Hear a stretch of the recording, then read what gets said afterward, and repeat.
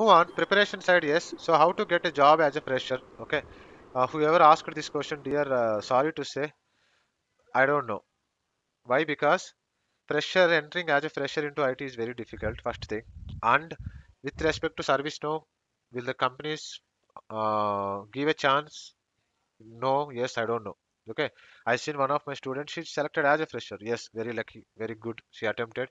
She knows service now she learned from me. She attended as a fresher only and they've opened few positions and then she got it. But i can't we can't promise like every company will give an offer like this chance like this. Okay so you are saying you're a fresher and you know you are saying you know ServiceNow. How come they will say like this? And they will not prefer ServiceNow freshers. So you can try okay maybe with some gap experience and then try.